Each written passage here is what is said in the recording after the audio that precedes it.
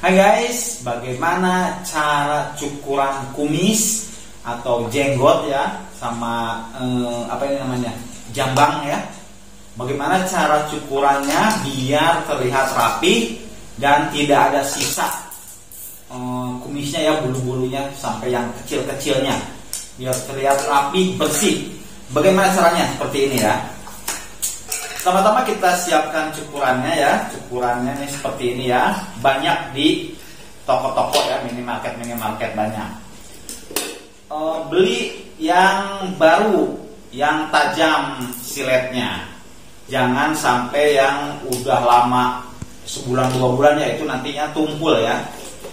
Kedua kita pakai hmm, pelicin ya. Kalau ada after set yang dijual-jual di toko-toko tapi kalau saya nggak ada aftershave-nya habis, jadi saya pakai lotionnya body lotion ya. Bisa juga. Oke, kita keluarkan body lotionnya biar licin ya, biar tidak iritasi ke kulitnya. Nah, kita oleskan ke kumis atau ke oh, janggut ya.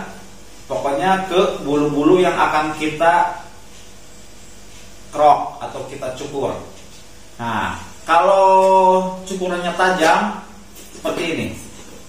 Nah, dari atas ke bawah ya. Nah, ini dari atas ke bawah.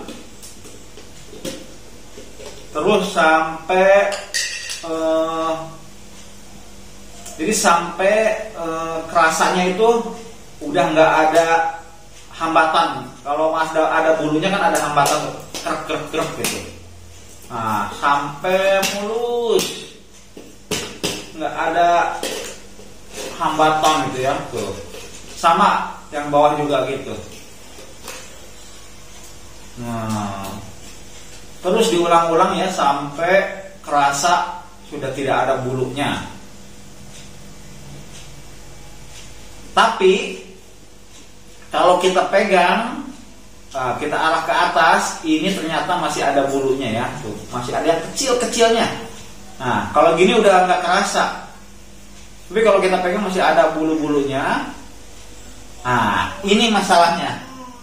Bagaimana cara menghilangkan bulu-bulu kecilnya ini ya, biar bersih sempurna. Kita pakai lotion lagi biar tidak iritasi. Nah, caranya kita balik. Tadi dari atas ke bawah, sekarang dari bawah ke atas. Jadi melawan akar dari bulu-bulu kumisnya ya. Nah.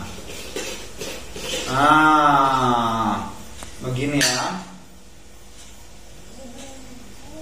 Terus sampai sudah tidak terasa lagi ada bulunya. Hmm aja diulang-ulang terus sampai rasa mulus tidak ada kumis yang tersisa. Kalau yang bawah sama ya. Kalau emang ada yang masih ada kecil-kecilnya kita dari bawah ke atas. Jangan terlalu menekan ya. Nantinya sakit ke kulitnya.